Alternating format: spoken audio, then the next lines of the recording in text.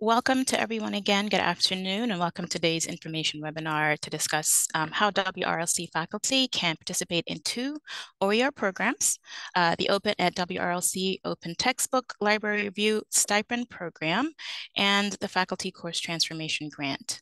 Um, we are also going to discuss today how OER facilitates um, diversity, equity, and inclusion principles. My name is Tricia Clark. I am the Community College Engagement Librarian at the University of the District of Columbia, or otherwise known as UDC. Um, we are recording this meeting for those who are not able to attend synchronously, and you will get the um, recording at the end of the presentation, probably within 24 hours or so. Um, next slide, please. Actually, yeah, okay.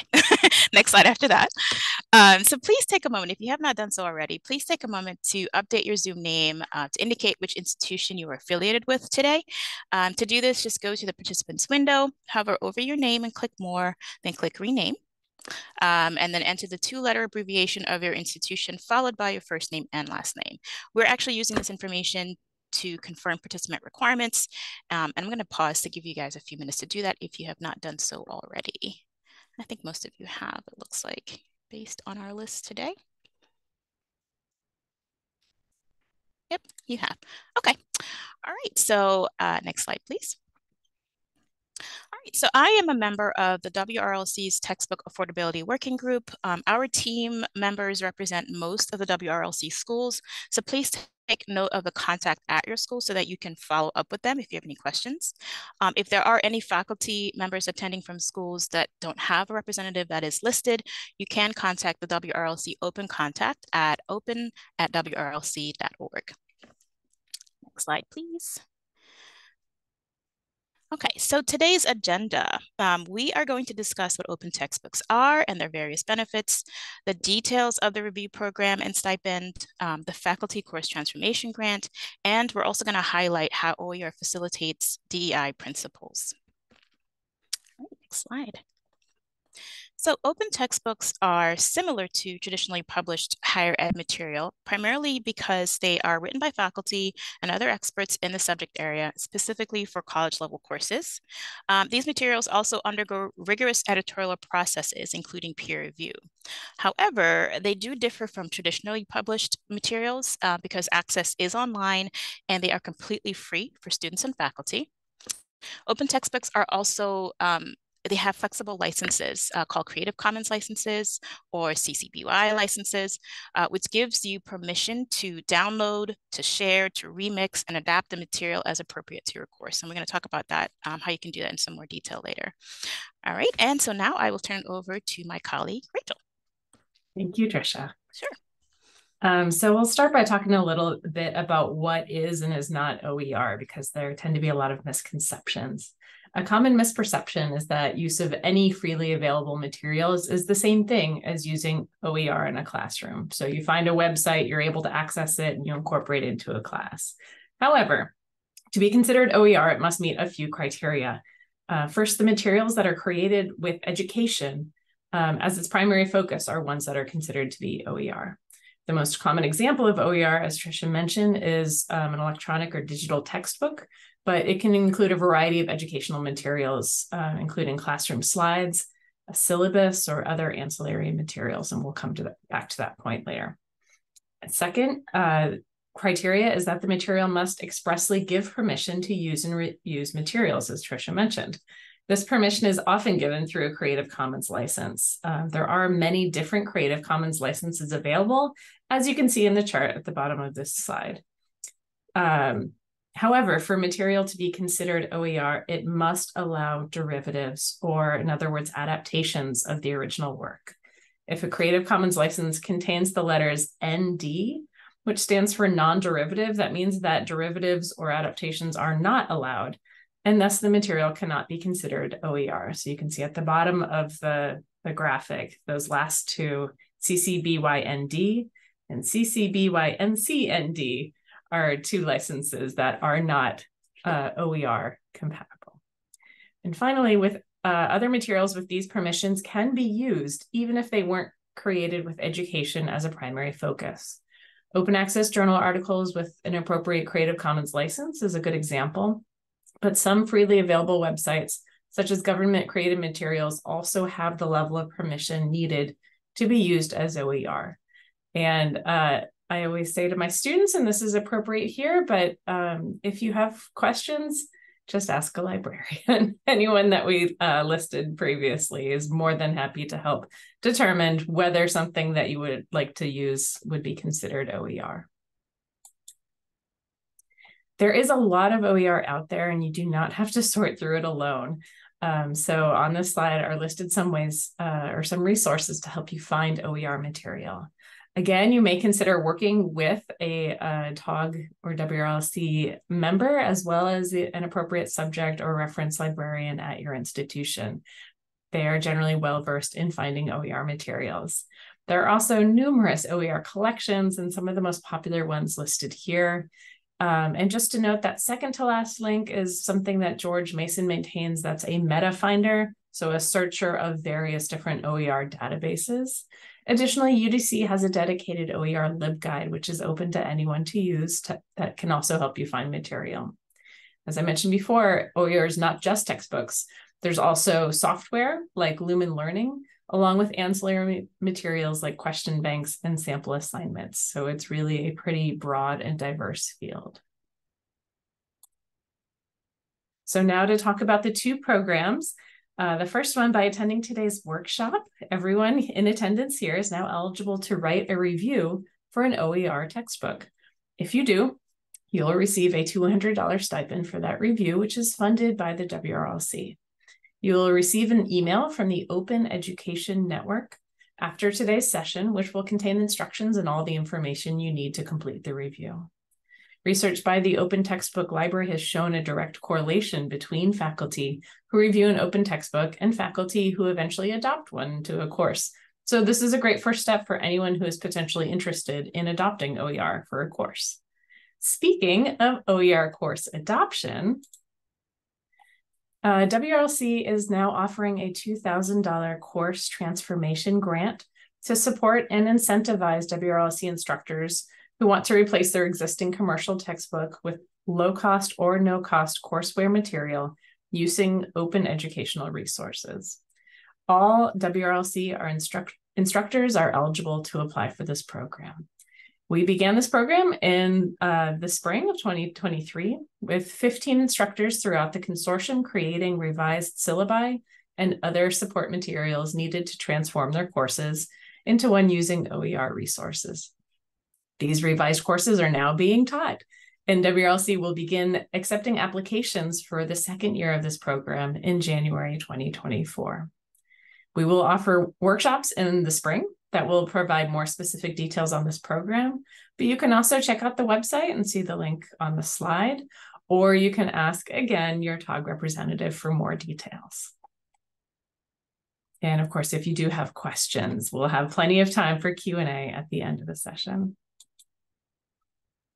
So turning now, uh, we're going to begin discussing how OER aligns with DEI values. So we're going to start by looking at the values of equity and accessibility. One of the most direct links between OER and DEI uh, use is that an um, OER use is an equitable practice because it removes a barrier to classroom participation. This includes both a financial barrier as well as an access barrier that other textbook alternatives uh, in terms of access, uh, such as course reserves, actually maintain. So you can make your um, expensive or not so expensive textbook available on course reserves, but there is still an uh, access to equitable um, barrier to equitable access to that resource with course reserves. This doesn't mean that there aren't other barriers to consider, such as the availability of internet access, which is required in order to use electronic resources like OER, but OER does facilitate access to course materials during the course, as well as long after the, uh, the student has taken the course. Helping students see themselves as lifelong learners is a goal for many institutions, whether formally or informally. Making resources available to a student beyond the scope of the course enables them to revisit these materials for a variety of educational and applied purposes, increasing the educational return on investment as these students engage with the material in different ways over time. such as supporting future learning in and out of the classroom or enabling professional success development. Another aspect of access is the accessibility of the material itself or potential barriers to use that uh, users may experience due to the design and presentation of the material. Accessibility is not guaranteed with OER materials, and there's a wide range of accessibility for OER materials, with only some materials incorporating accessibility needs into their design and presentation. However, since OER materials can be used and repurposed, it is much easier for faculty to adapt OER materials to fit the needs of their students. Accessibility standards are also a key component to WLC's course transformation grant that we discussed earlier. And all educational materials, such as syllabi that are created in the course of the grant, must comply with basic digital accessibility standards, such as machine uh, readability and alternative text for images. So next, we're going to look at some ways in which OER contributes to class engagement as well as inclusive pedagogy principles. As we discussed with accessibility, the ability to adapt course materials also facilitates inclusive pedagogy. And Tricia will talk specifically about that um, in some other contexts a bit later. Um, finally, by removing a barrier to participation, OER also facilitates student engagement within the course. So let's take a closer look. Incorporation of OER into the classroom is an inclusive practice, and that inclusiveness can and has been directly measured. One outcome of use of OER is that it increases classroom participation, likely due to equity and access to course materials. Students who can more easily access the readings and homework for classes are better equipped to participate in classroom discussion or connect their readings with other course content. Studies also show that use of OER enables students to both stay in the course and help them pass the course. Studies have shown that this benefit is true for disadvantaged students, again, likely by providing those students with a more equitable experience through access to materials. And beyond these measurable outcomes, students generally re respond positively to use of OER in their classes. In spring 2023, a student at American University designed and ran a, a, survey for students to gather data related to OER at AU. This included data such as the cost and affordability, affordability of the textbooks for the uh, students that participated in the survey, level of university support for textbooks, and perceptions of OER use in a classroom. So as you can see on this slide, the students were overwhelmingly positive about OER use. 92% of those surveyed agreed that they feel or would feel more understood and connected to professors who use OER. This shows that the benefits of OER are multifaceted and can, uh, can be a powerful way to connect with students while providing a more inclusive classroom experience. And I pulled out a few quotes just to get an idea of uh, the real robust responses that we received from students. As you can see, there's really a, quite a lot of demand um, from students or uh, who are eager to engage with OER materials. And with that, I will turn things back to Tricia to discuss some more benefits.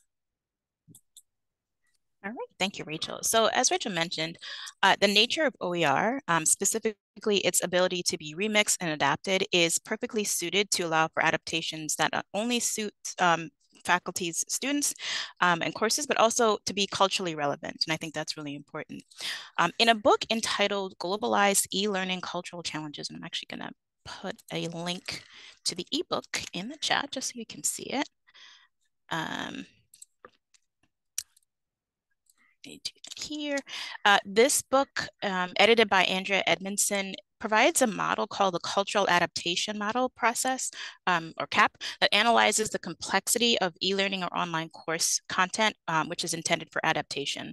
Um, so it analyzes the content, the source culture of uh, method methodological preferences, and the host culture methodological preferences. Um, after analysis, Edmundson recommends four different levels of adaptation based on the content type or complexity. And those levels are translation, localization, modularization, and origination. Um, and so with translation, it's important to note that it can be complicated um, due to things like slang um, from original material and concepts that may not translate well or at all. Um, and so instructors and OER creators really should be mindful of keeping slang, symbols, icons uh, to a minimum or remove them altogether.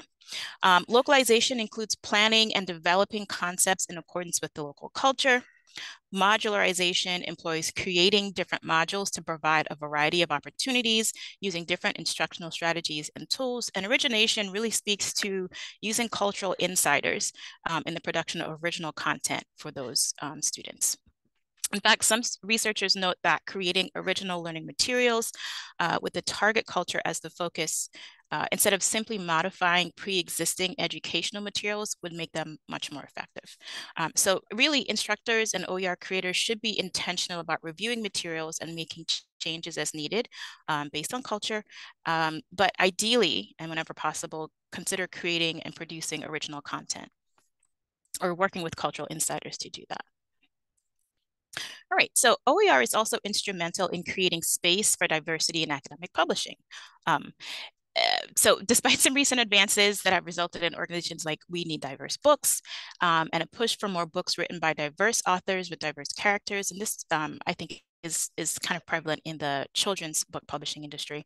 Um, the publishing industry is still woefully lacking, particularly in racial and ethnic diversity. Uh, this lack of diversity includes university presses. In 2019, Lee and Low Books published an updated report on the US publishing sector, and I can share a link to that as well for those who are interested. Um, um, updated report on the U.S. Public, publishing sector, which included university presses. The report determined that the university press workforce is 81% white, uh, which is even whiter than the full surveyed landscape, which is 76% white. So unfortunately, not much has changed in either the academic publishing world um, or the entire publishing industry as a whole, despite university pledges um, from the big five publishers, which includes uh, publishers like Penguin, Random House, and Macmillan. Um, there is a, another report that was done, and I can send you a link to that. I've done all the research for you, so you don't have to. Uh, so this recent report shows that not much has changed, um, both in the academic publishing world and uh, the publishing world in general. Um, and so it's evident from a more recent report um, that these issues are still happening. Um, the lack of diversity is apparent with not only just editorial staff, but this includes authors and even booksellers.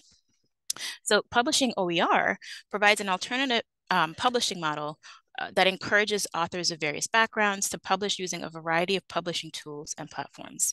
Um, the platforms and tools are free and also they're also diverse. Um, they're different kinds. So this allows educators and OER creators to choose what kind of platforms work best for them um, from a range of options.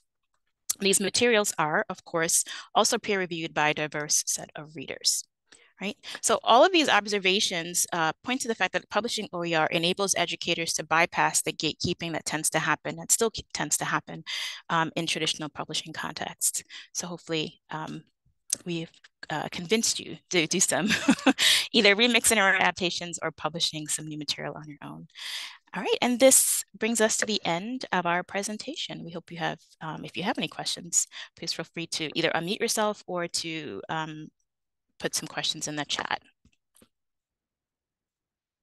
And we have lots of time as well as several TOG representatives present. Yeah. So this is a great place to ask any Absolutely. kinds of questions that you might have.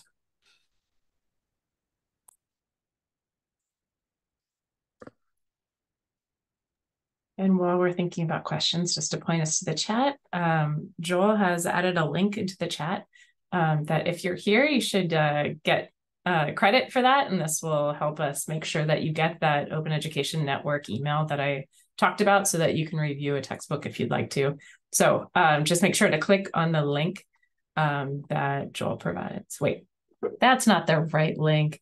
Is it? Yes, it is. Never mind. I was reading the title. Don't worry. it's the check-in for the title of our program.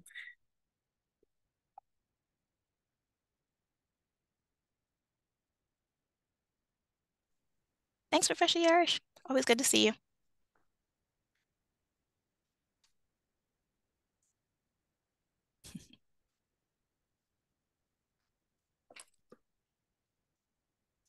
So of course, this is being recorded. If you don't have questions live, that's okay. You can always reach out to us separately later today, tomorrow, whenever. Um, and um, if you would like to reach out to your own TOG representative, that's um, lovely. But you know, you can feel free to reach out to any of us. We all have the same um, resources and hope we'll be able to help you if you have any questions about either publishing or reviewing or any of the other things we've mentioned in today's presentation.